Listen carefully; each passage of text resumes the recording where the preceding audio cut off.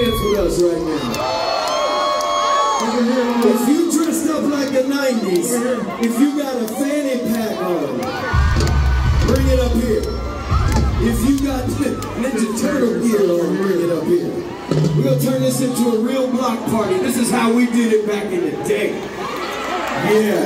Hell yeah, let's go. Let's.